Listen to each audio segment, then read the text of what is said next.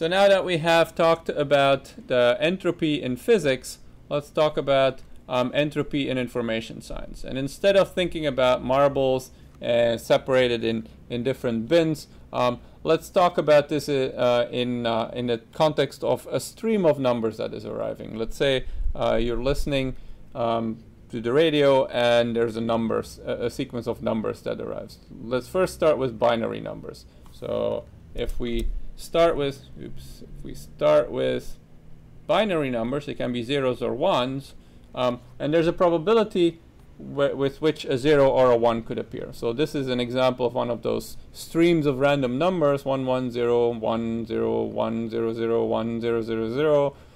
That's a fairly random looking sequence. Okay. Um, of course, if we have the probability for a 0 equal to 1, then necessarily the probability for a 1 will have to be 0. Or in the other the other way around, if the probability for 0 is 0 and the probability for 1 must be um, 1, then of course that random number sequence is entirely predictable. It will either be all zeros or all ones. So one of the things you realize then is if that probability is exactly equal to 1, there's no new information in each consecutive value. Um, in contrast to the, the stream that's printed here, um, each additional bit, or each additional um, number that arrives, gives me more information about the probability distribution. If it was all just ones or all just zeros, there would be no information that arrives with each bin, uh, with each um, number that arrives. Um, so uh, in particular, let's think about the situation where the probability for zero is not exactly zero, but is really small. So we see mostly ones, except once in a while we see a zero. Now, of course, we'll be very happy to see those zeros because they're very improbable. Um, and so because that probability is very small, that event will have more um, information in kind of a, a heuristic sense, right? That we will be happy to see those improbable events because they will allow us to really determine that probability through uh, uh, counting or frequentist um, statistics. So what we'll do now is try to quantify that idea of information. So we'll introduce this quantity h that encodes the information in the observation of a value x. So we'll have h0 and h1, um, and h0 will be the information enco in, in encoded in seeing an, a 0 arrive, and h1 will be the information encoded in seeing a 1 arrive. Okay. Um, since we already know that smaller probabilities must correspond with larger information content, we want h to be larger for smaller p, um, or we want h of x to be larger for those x which have a smaller p of x. Um, we want the consecutive events that are independent, we want those to have information content that is additive. So if I have first x1 and then x2, then the information content in seeing x1 and x2 must be the sum of the information content of seeing x1 first and then x2. Um, and then the other thing we need to realize, which is related to this, uh, the second um, uh, concept here, is uh, second property, is that we want, uh, or uh, we don't want this, this is always true, um, the probability of two independent observations, x1 and x2, will be the product of their probabilities. So uh, think about, about a coin toss. All of this we could put in, in terms of a coin toss as well. So head, head, tails, head, tails, head, tails, tails, um, and so on with the probability being um, a half. So the probability of seeing two tails in a row um, is just the product of the probability of seeing the first tail and the product of seeing the second tail. Now based on those three properties, we can introduce h of x as the negative log of the probability. And you'll see this works, right? The probability will be between 0 and 1.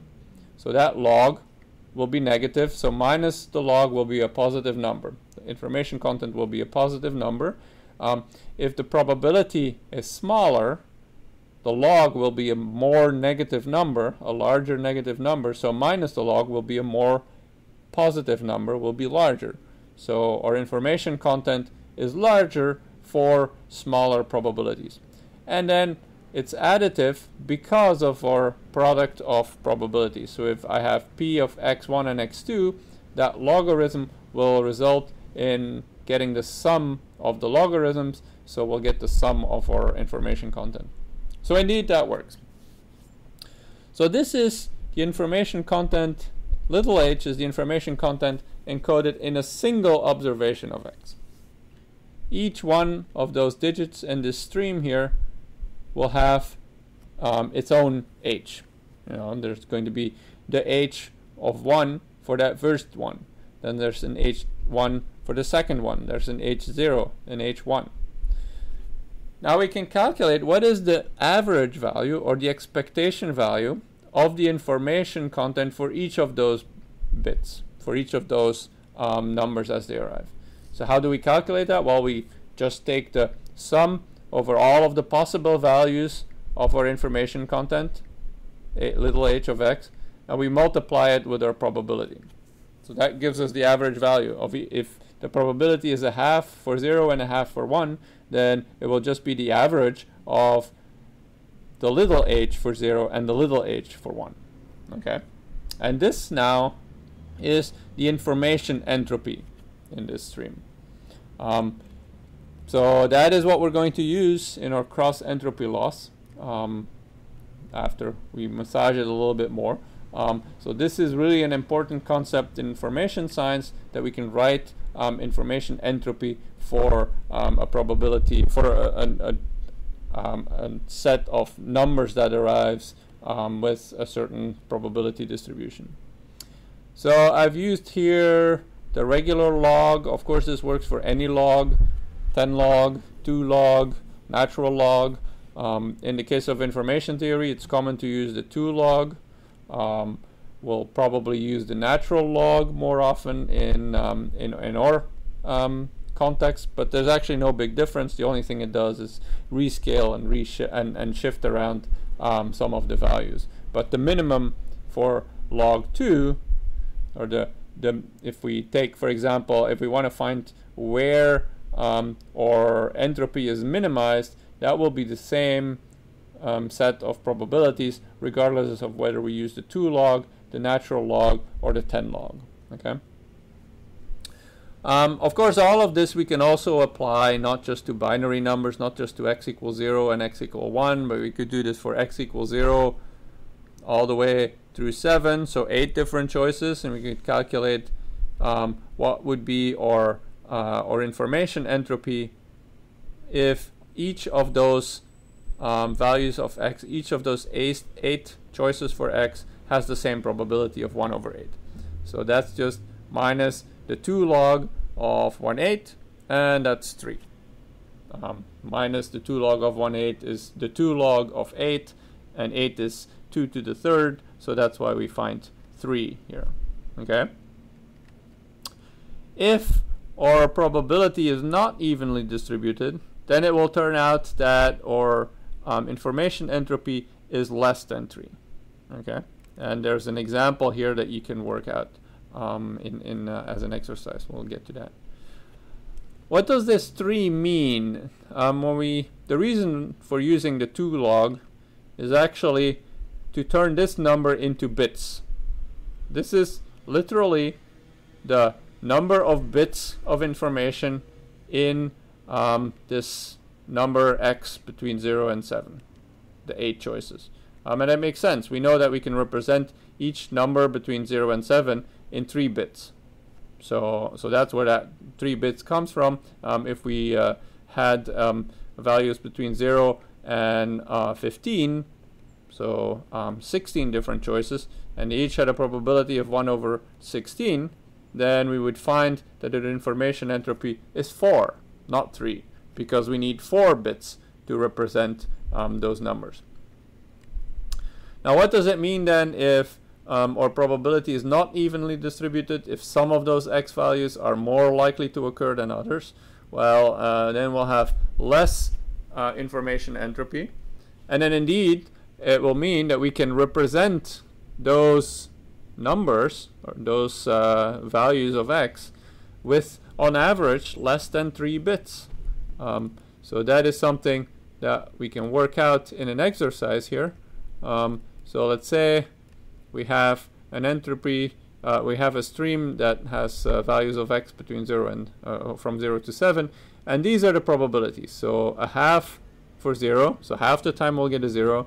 Um, a quarter of the time we'll get a 1, an eighth of the time we'll get a 2, and so on, and then we'll get 1 over 64 for um, 7, 6, 5, and 4. So if we calculate this uh, entropy, you'll see it's less than 3. And then, why is that the case? Well, if this 0 appears so often, we can be more efficient in our encoding of zeros. Let's encode it as just a single 0. Okay? Um, what's the next one that is, uh, is, is, uh, is, what's the next most likely value? It's 2, uh, uh, sorry, it's 1, which happens a quarter of the time. So let's encode that as 1, 0. So 0, 1, 0, they're uh, um, perfectly distinguishable values. Um, then we can go to 3, which is 1, 1, 0, 4, 1, 1, 1, 0, um, and then 5, 6, 7, um, I missed a number there. Um, 4, 5, 6, and 7 uh, are going to be these sequences of 3, 1, uh, sorry, here, 3 ones, and then 0, 0, 0, 1, 1, 0, or 1, 1. And um, you, you can uh, stare at that for a while and you'll see that um, it is indeed possible in a stream of numbers to distinguish those um, th those uh, blocks of, of one, two, three, um, four, or five uh, individual numbers, you can indeed distinguish those.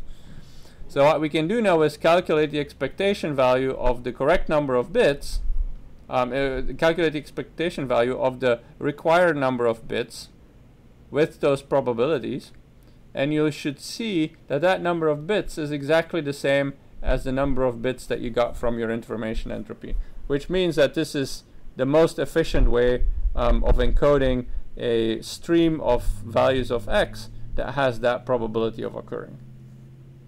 Okay, um, so this will likely be something that you will find on the homework assignment. Okay.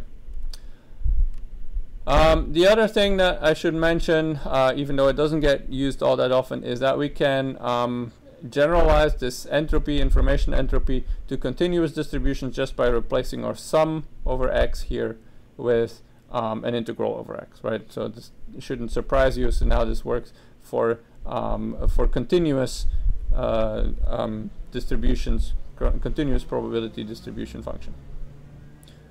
Okay, enough about entropy. The only thing we still need to introduce before we can go on to logistic regression is a specific um, type of divergence and then we can introduce our loss function which is our, our cross entropy loss. But that's for the next video.